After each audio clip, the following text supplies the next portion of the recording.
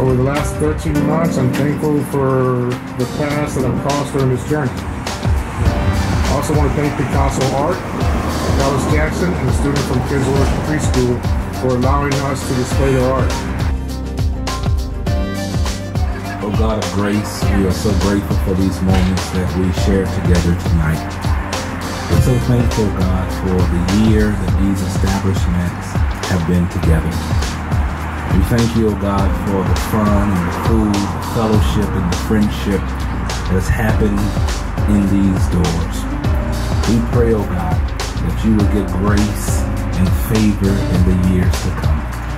Bless the ownership, bless the staff, every person who works, those who come through these doors, we ask for your blessings upon them.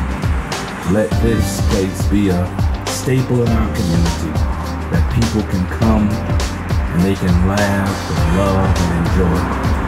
We thank you. We pray your continued blessings. In your name we pray. Amen. And I am so proud to be here to witness continued revitalization of the historic Manhattan Casino and all of the Deuces Live corridor. This building is very important part of our history, and I am thankful to the many people who work together to preserve our continued legacy. Thank you. The respect for the history of what has happened in this part of the community is so important as we move forward.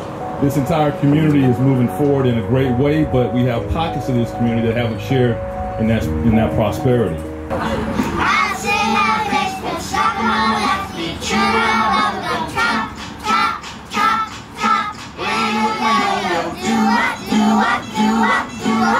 Then